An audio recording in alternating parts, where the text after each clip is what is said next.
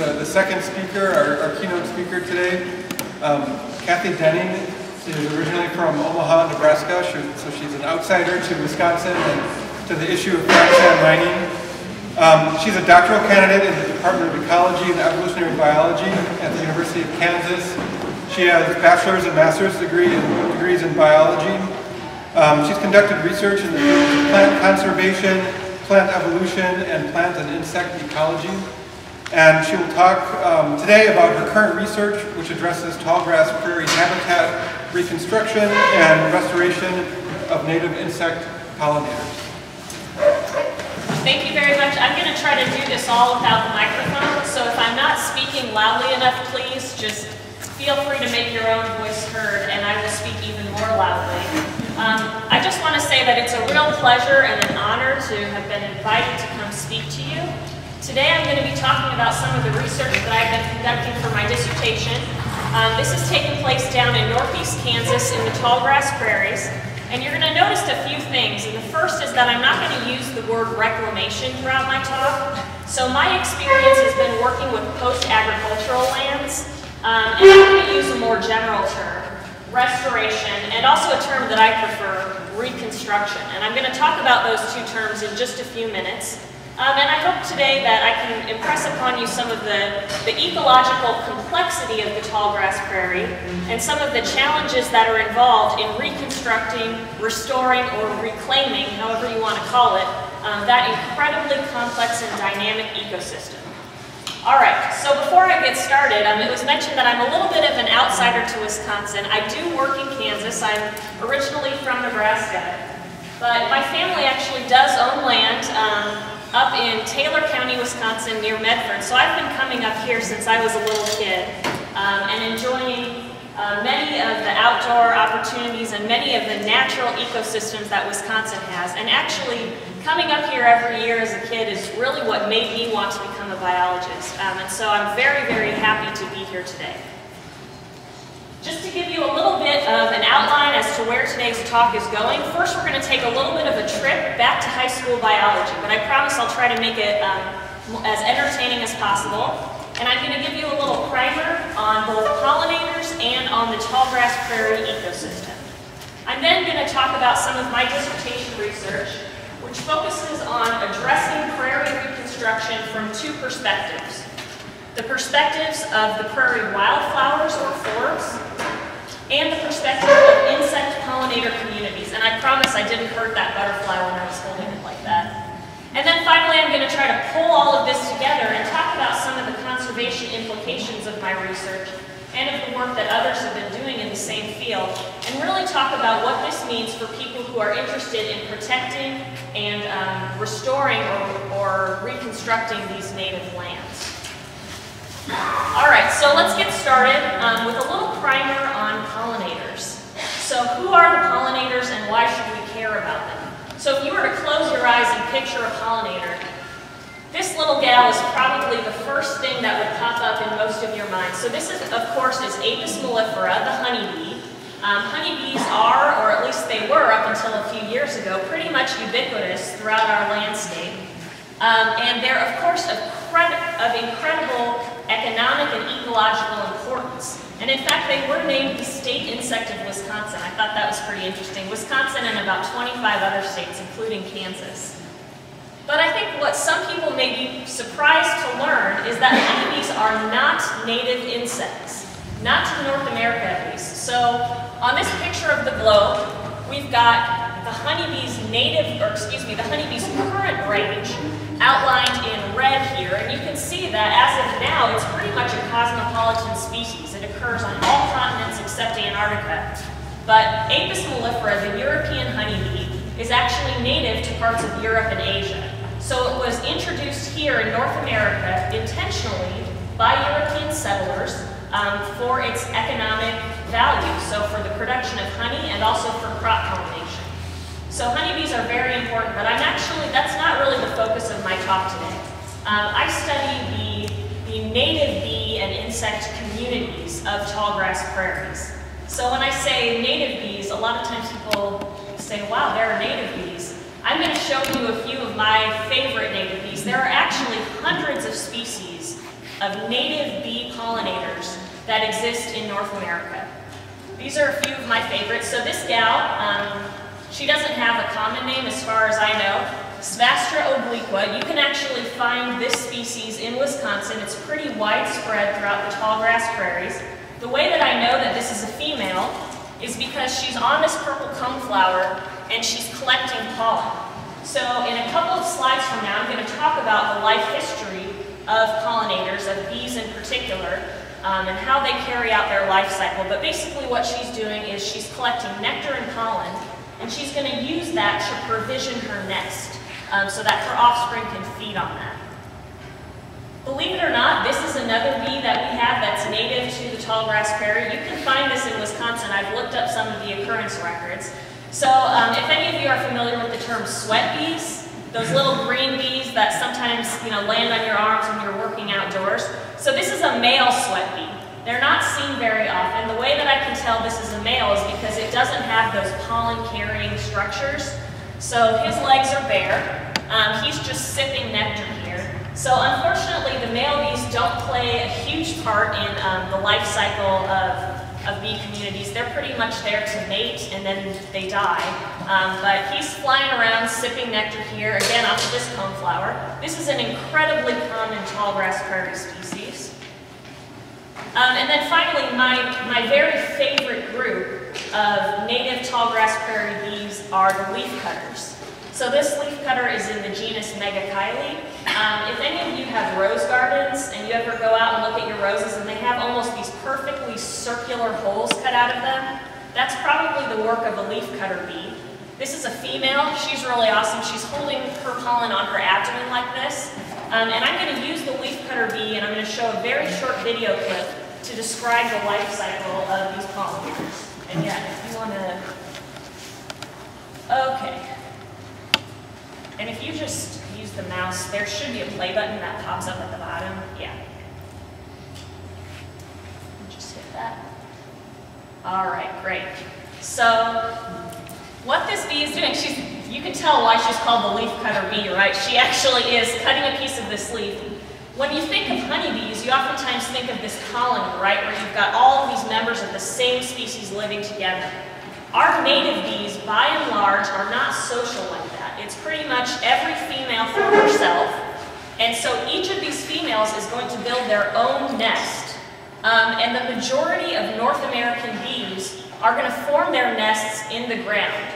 So what she's doing is she's taking those leaves and she's lining a hole that she's dug in the ground with those leaves, and she's going to use this to protect her eggs from pathogens, from parasites, from mold and mildew that could get in there. So she'll collect these leaves, these little scraps of leaves, and then you can see if you look at her abdomen, she's got some pollen on her abdomen. So she's going to fly around to the flowers, she's going to collect pollen and nectar, she's going to form that pollen and nectar into a ball called a pollen She's then going to lay an egg on that ball, and then she's going to use more plant materials to seal up that chamber of her nest. She's then going to repeat this process several different times, basically until she dies. During the off-season, so then this is all going to go on um, during the winter time generally, underground, these eggs are going to hatch, and the larvae are actually going to feed off of this pollen loaf until the following spring when the soil warms up enough, um, and then that's their emergence cue. So they're going to use that. They'll be adults by that time, and they're going to emerge and start the life cycle all over again. Um, so native bees are, are fairly different from what you may think of in terms of honeybee life cycles.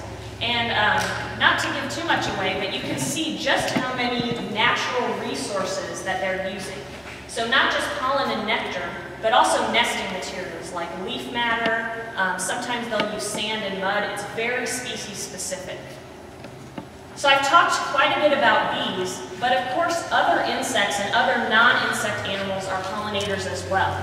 Um, in temperate North America, predominantly when I talk about pollinators, I do mean insects though. So butterflies, beetles, uh, this is one of my favorite insects here. This is, this is actually a fly. It's a bee mimic, and you can see that it even has a stinger mimic right there visiting a milkweed. As you start to go further south, south of the tallgrass prairie ecosystem, you start to see more non-insect pollinators, such as bats and hummingbirds. But today, when I talk about pollinator communities, I'm primarily going to be talking about these insects.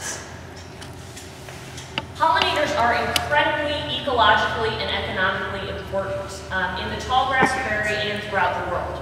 So almost 90% of our world's flowering plants rely on animal pollination. And pollination is a multi-hundred billion dollar per year industry.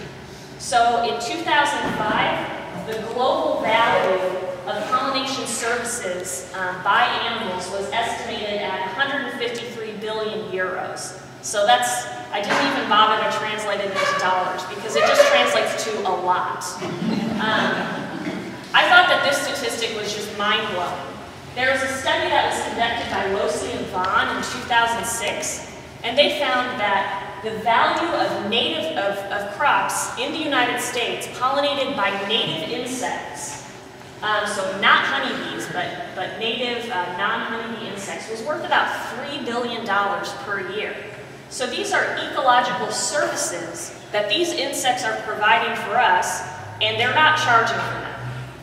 So, at least not, not that I know of. Um, Wisconsin, blueberries, those do rely on native pollinators. These are uh, some of my favorite pollinator uh, or animal pollinated if you've been watching the news lately, though, you've probably seen quite a few stories about the declines in pollinator populations throughout the world. So we've got stories from The Guardian, BBC, Washington Post. Time Magazine had a, a, a really depressing but uh, very interesting article that they published last summer, and it was called A World Without Bees.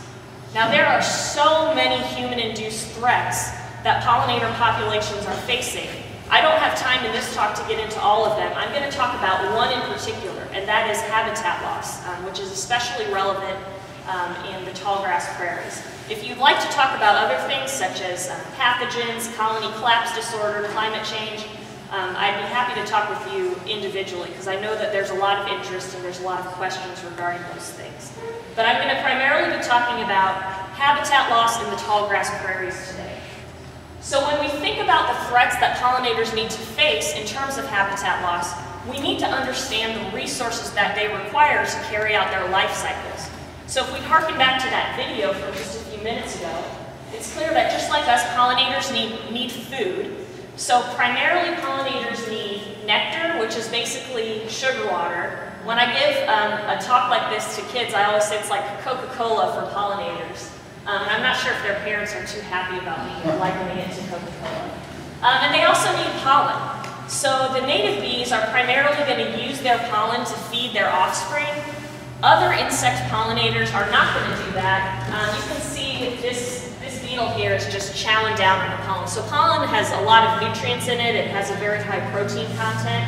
So this is what the pollinators get their carbohydrates and proteins from. In addition, pollinators need the materials and the space necessary to complete their life cycles. So they need places and resources for nesting and overwintering. Most of our native pollinators, especially the bees, are going to nest under the ground. Um, so you can imagine that going through and turning the soil is going to be very detrimental. It's actually just going to destroy their nests. Um, and of course they need nesting materials as well. So this is a very species-specific requirement. Leafcutter bees need this leaf material. Other pollinator species need things like sand, mud, or certain types of soils in order to complete the construction of their nests.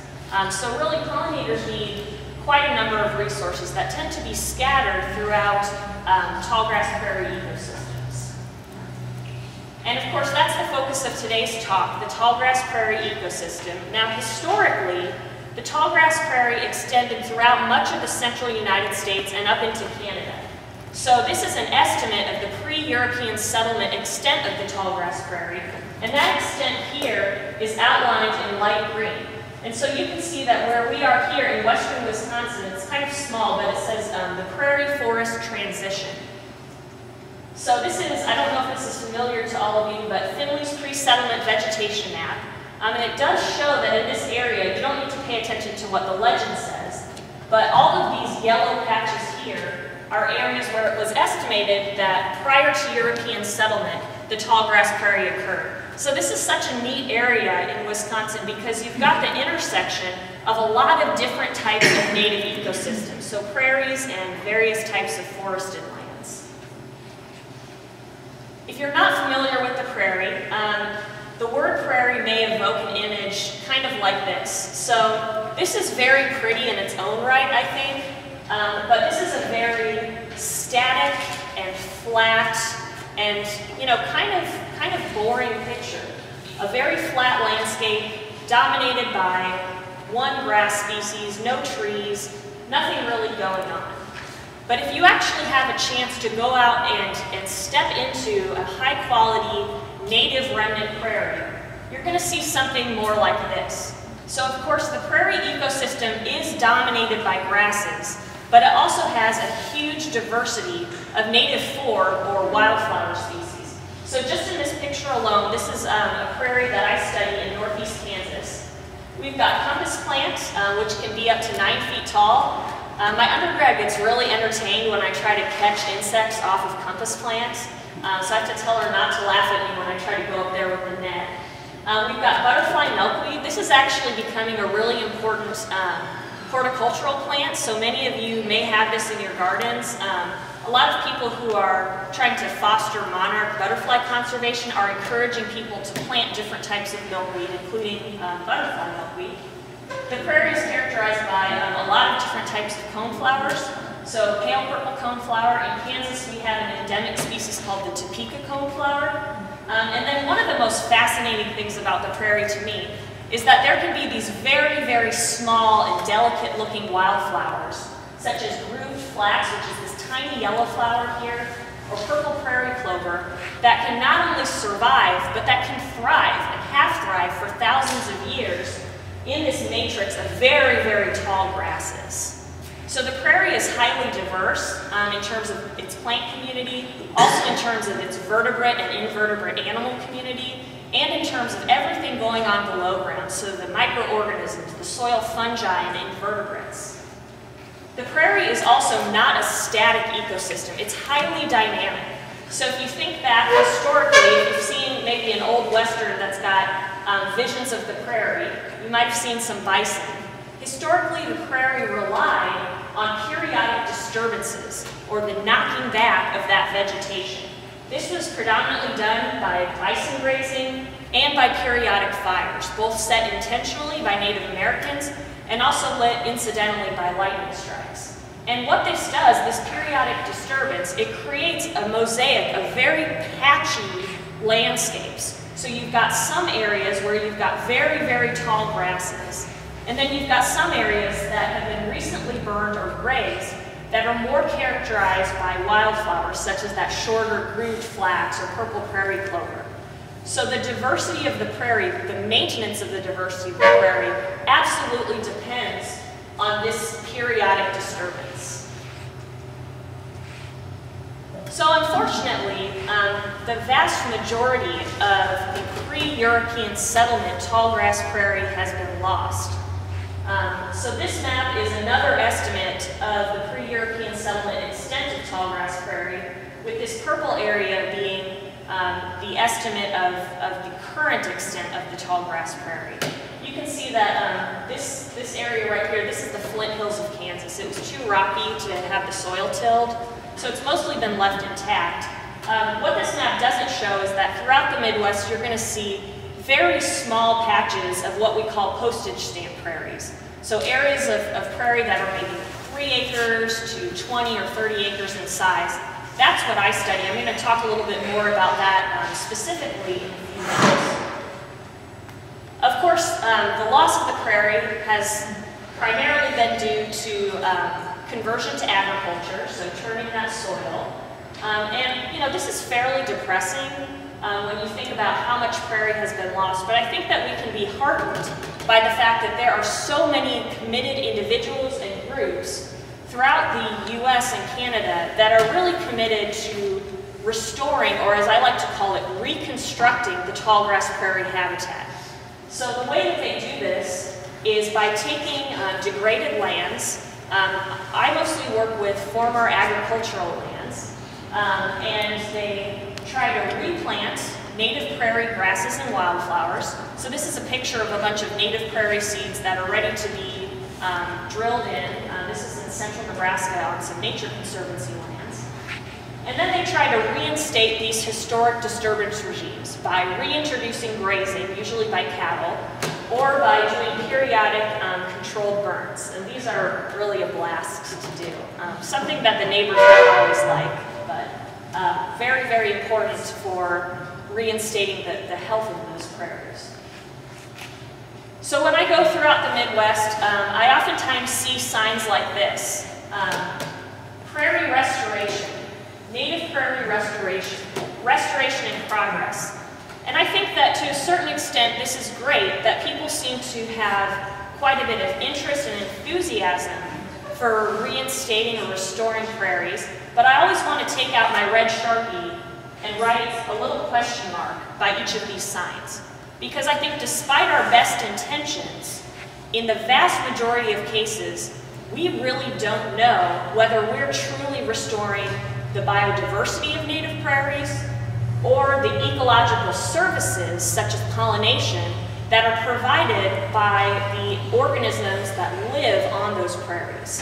Um, and this has been um, noticed by the scientific community, and in fact, a couple of really well-known um, authors in the field of ecology have called attention to this in the past five to ten years, and have said that few studies have addressed how plant-pollinator interactions in particular are influenced by habitat restoration. Reading things like this is what really motivated me to tackle my dissertation research project. Um, and so my dissertation project very, very broadly focuses on these two questions here. Can we restore or reconstruct or reinstate forb diversity or wildflower diversity on former agricultural lands? And then what about the pollinators? This isn't something you can't just sow out or plant out pollinators. If we actually make the effort to reinstate the plant biodiversity, will the pollinator biodiversity and will, will that ecological service of pollination then follow? So that's what I'm going to talk about next. I'll start by telling you a little bit about the structure of my dissertation project. Like I mentioned, I work in these little postage stamp prairies in northeast Kansas, so I'm working east of the Flint Hills of Kansas. I have 10 field sites that I've been surveying for the last three years. So five of these sites are remnant or native prairie sites. These are sites that for one reason or another escaped the plow. So a lot of these sites are pretty hilly, some of them are a little bit rocky, um, and some of them in Kansas, I'm not sure if this is a common practice in Wisconsin, but in Kansas, even if it was arable land, a lot of times the farmer would leave a little area for a hayfield. So we've got a lot of these native hayfields in Kansas that technically could be plowed, but they just weren't because they were be, being used as hayfields for the last 150 years. So I've been surveying the wildflower and the insect pollinator communities across these five sites, and I've been comparing them to the wildflower and pollinator communities across five nearby prairie restorations or reconstructions. So those are in orange here. Um, and all of these reconstructed sites are all post-agricultural lands um, where the new landowners have come along and have decided that they want to try to reconstruct the tall grass prairie. Um, all of my reconstruction sites are between 5 and 15 years old, and um, all of my sites in general are between 8 and 20 acres in size. And then throughout, throughout the rest of the talk, I'm going to be using the color green to refer to my remnants, and orange to refer to my prairie reconstructions. Okay, so I've got these 10 sites. What have I been doing out there? So if we imagine um, that this is one of the sites just outlined here in pink, what I did is starting in 2013, I established a one hectare or about two and a half acre square study plot at the center of each of these sites. I then visit each of these sites several times throughout the summer, um, and I survey the insect pollinator community. So the first stage of this is very technical. I basically go out to this area and I walk around and I literally try to catch every insect that I see in contact um, with an open flower. This is amazingly entertaining for my undergraduate assistants because at first I was not very good at it, but I'm a lot, I'm a lot better. Um, next, I lay out these four in, um, intensive survey transects, and I do the same thing, but on a much finer scale. So I'll walk along each of these transects, again, trying to catch every insect I see in contact with open flowers, and then finally, I'll do a survey of all of the currently flowering plants that I see along these four. Um, it's, it's, not super clear yet. This number is still going up because I'm still working on my insect identifications. I did this this past summer as well, but I'm not going to be presenting those data yet. They're not quite ready, um, meaning that I still have to enter them into Microsoft Excel. That's going to take a while. All right, so this is what I've been up to. Um, and then just really broadly, these are the insects that I was observing or collecting. Um, so in 2013 and 2014, mostly what I caught belonged to four different groups of insects. Beetles, flies, bees, and butterflies, with a smattering of a few other types of insects. So when I talk about my pollinators today, this, these are the ones that I'm talking about, um, all of them as a group. All right, so can we restore or reinstate forb diversity on these reconstructed prairies? This is a really broad question, so I decided to tackle three specific points to talk about today.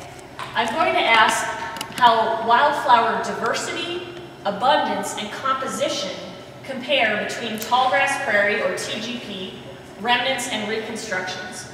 The first thing I'm going to do is talk about wildflower diversity. So I'm going to show two sets of charts one from 2013 and one from 2014, comparing remnants and reconstructions.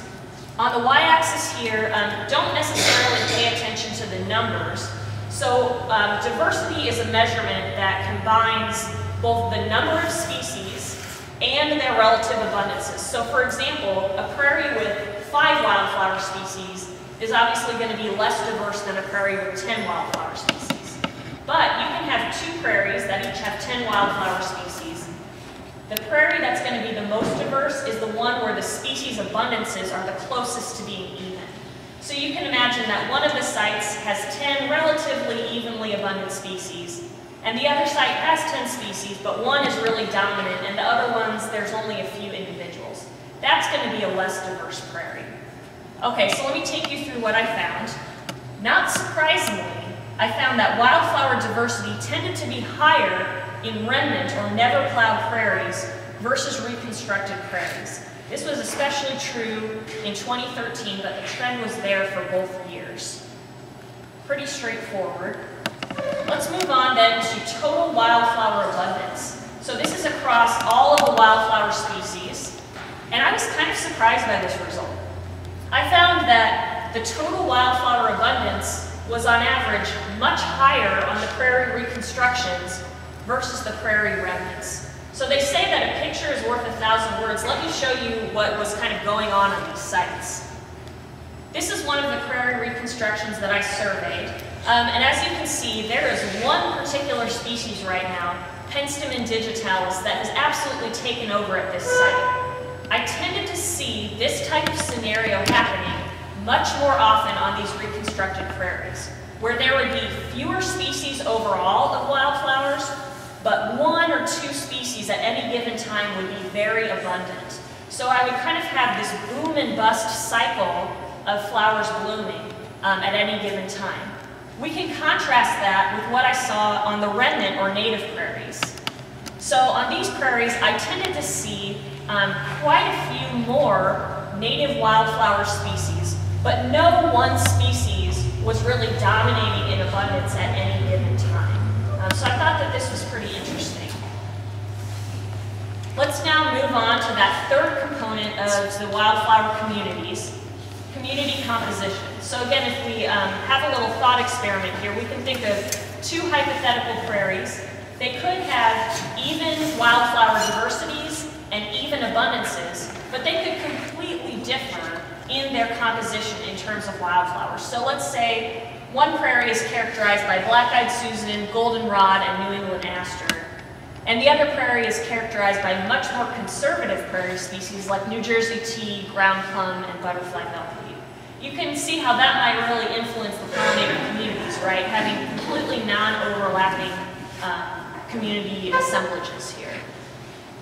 So studying community composition is actually fairly complicated for ecologists because there's a lot of data involved. You can have literally hundreds of species, each one with their own different abundance. So I'm just going to show you really quickly the visualization technique that we use um, to look at differences in community composition.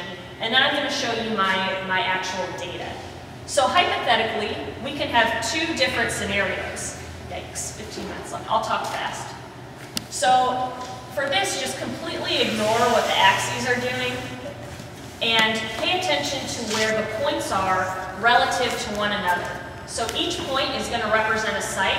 The closer that two points are to one another, the more similar those sites are in terms of their plant compositions. So if we were to see differences in composition, we would see that the green sites, the remnant sites, would cluster with one another. The orange sites, the reconstruction sites, would then cluster with each other, a lot of space in between. Alternatively, if we were to see no significant differences in composition, these points would just kind of be scattered all over the place. This is what I actually found. So you can see pretty clearly here that the green sites, which represent the remnants, tend to cluster with each other, whereas the orange sites tend to cluster over here. There were highly significant differences in the wildflower compositions between prairie remnants and reconstructions. So in other words, there's a certain set of wildflowers that is more associated with remnants versus reconstructions. That doesn't mean that there's no overlap in community composition, but it just means that um, there are certain plants that are very characteristic of these prairie remnants that we really don't find on the reconstructed. So the take-home message from this part of the talk is that we see um, definite differences in the wildflower communities between the remnants and the reconstructed prairies. At the end of the talk, I'm going to go into a few reasons why I think this is the case. But moving along and adding the pollinators perspective now, basically I wanted to do the same thing with the insect pollinators, to compare these three aspects of their communities, the diversity, the abundance, and the composition, between the remnants and the reconstructions. And I was expecting that since there were these clear differences in the plants, that I would also see clear differences in the pollinators. And I was completely wrong, which is one of the reasons that I love being a scientist, because there's always something that's uh, surprising.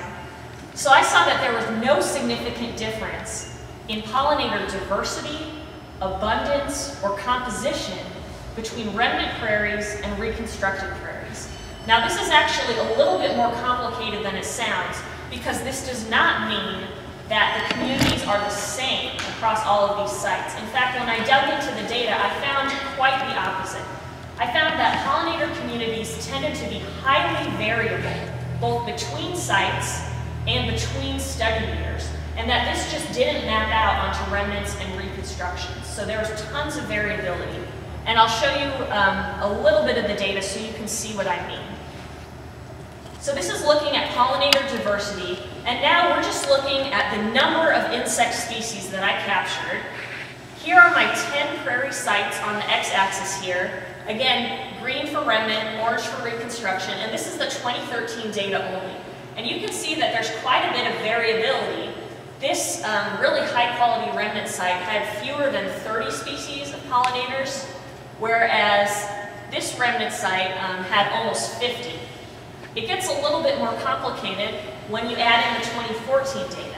So there were huge differences in the number of pollinators that I was seeing even within a site from year to year.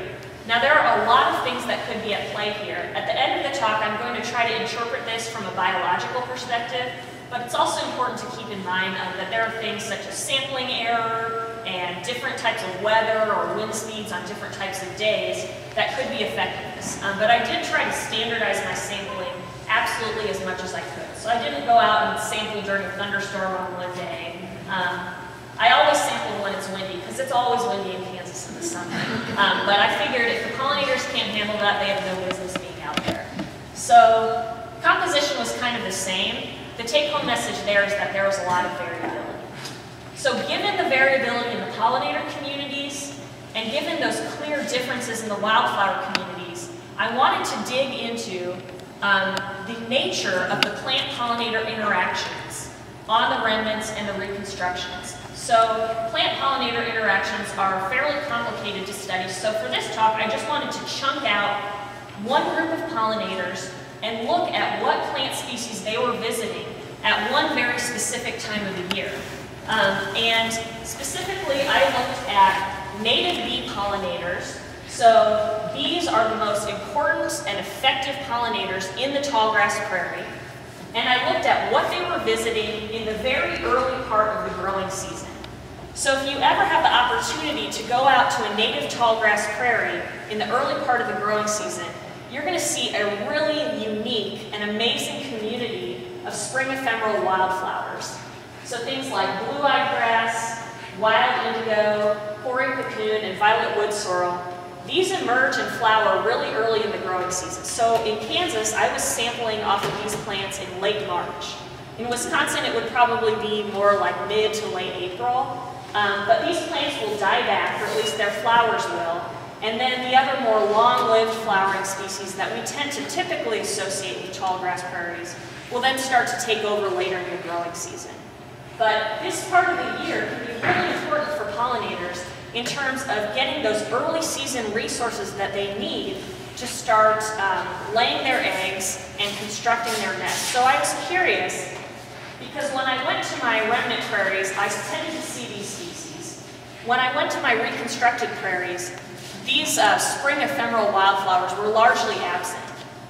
The reason is, is because it's really hard to find sources of seed that are commercially available for actually reinstating these species. Um, it's just, they're just not really out there. And when they're out there, they're usually something like $80 an ounce, which I just, it's just beyond, it's, I don't know who buys that because I don't know anybody who can afford that. So I decided to just uh, do a little study on this, and I found that, not surprisingly, prairie remnants had a significantly higher proportion of native spring wildflowers. This is what did surprise me, though, that the remnants and the reconstructions did not differ in terms of their early season bee communities. And in this case, when I dug into the data, I found that it wasn't due to too much variability.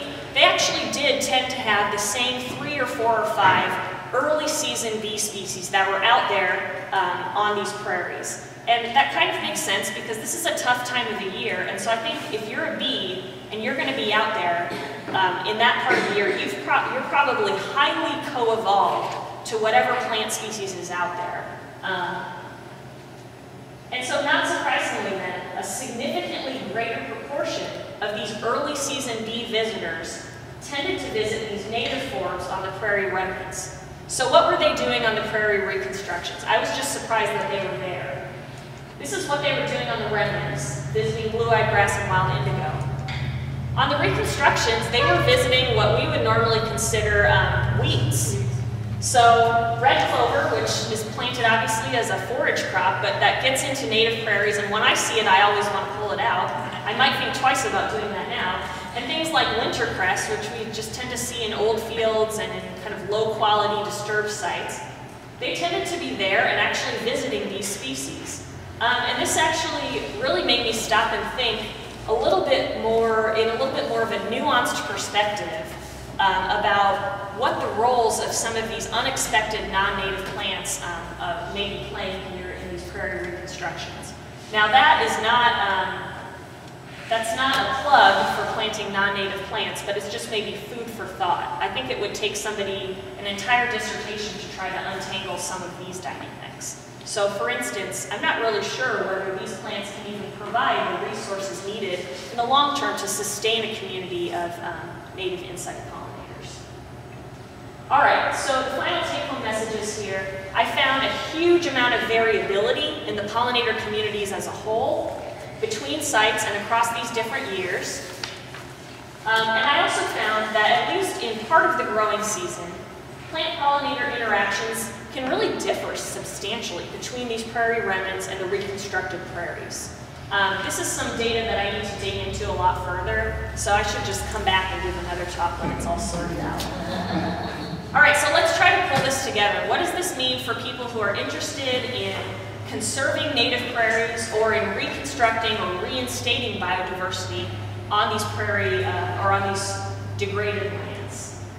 So going back to that first take-home message about the, the, differences in the wildflower communities, um, prairie restoration from the perspective of the wildflowers is incredibly difficult for biological reasons that I'm going to get into in a second, but also for purely economic and logistical reasons.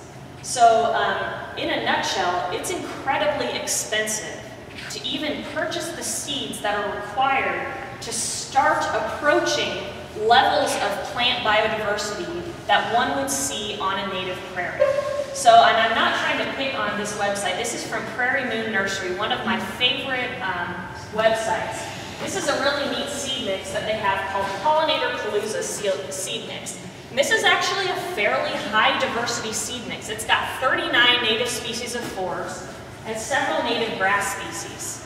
Um, you can see it's about 50% biomass per pound if you're to order this.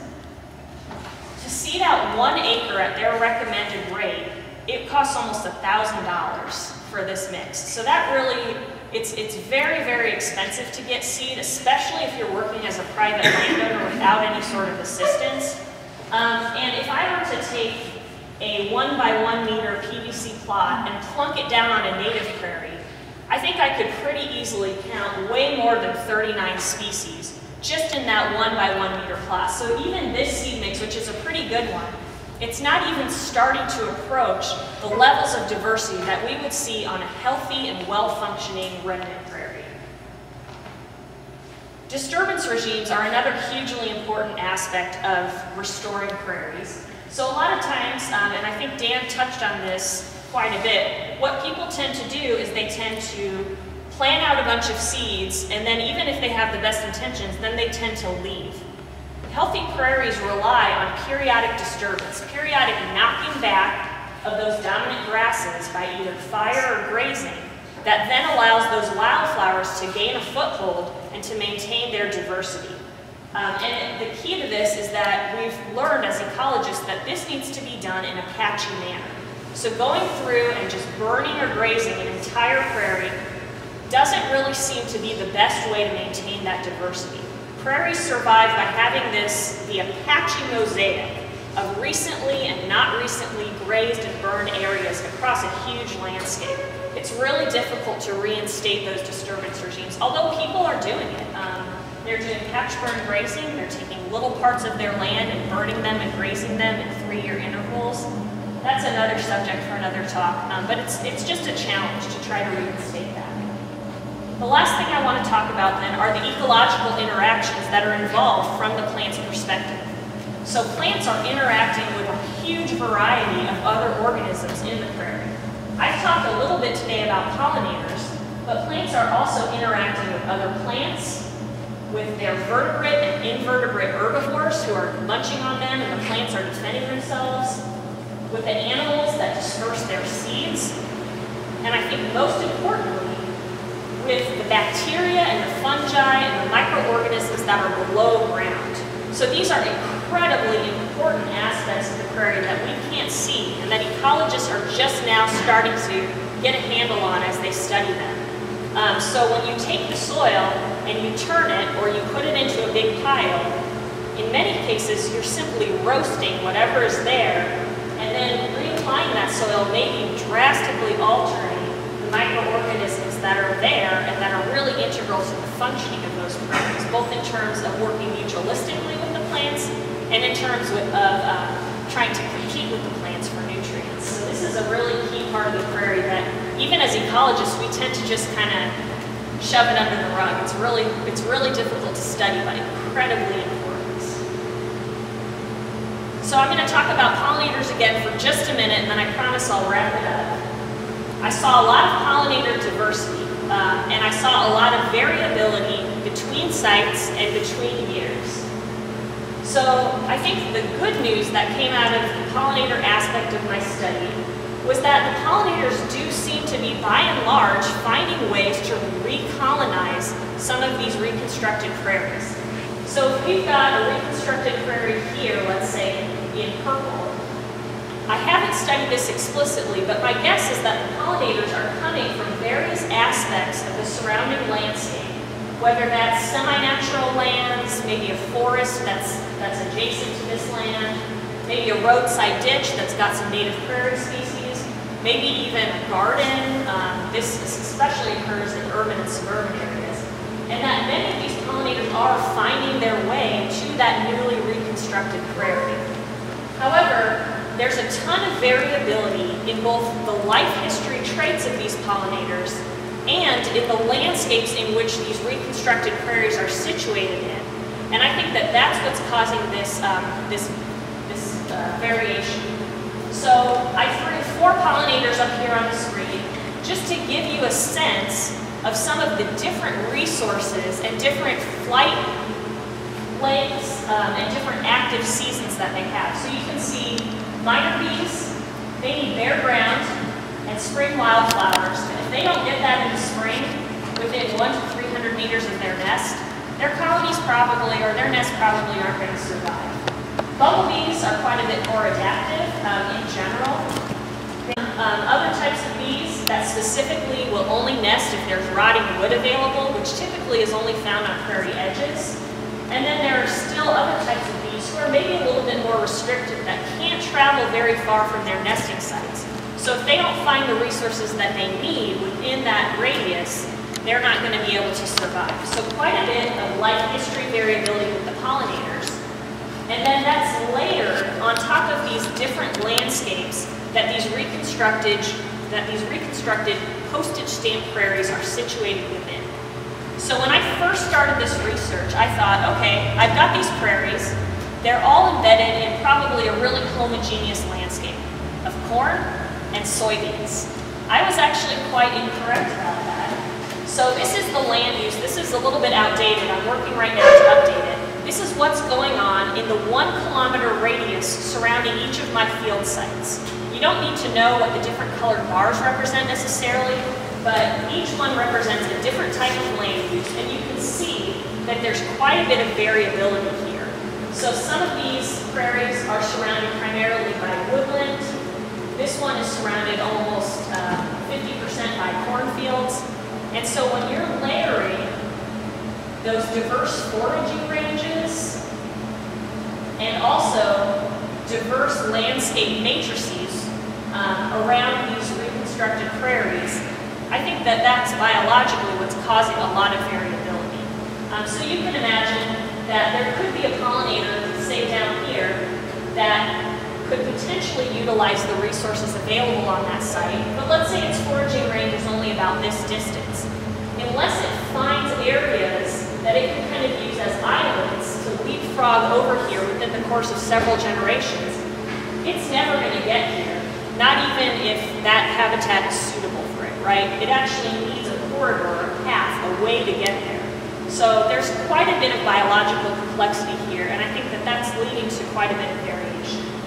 All right, last slide, I promise. Wrapping it up, uh, native prairies are worth protecting. They're incredibly dynamic and diverse, um, and it's, I think I'm preaching to the choir here, that a reconstructed prairie is not going to be the same thing as a native remnant unplowed prairie.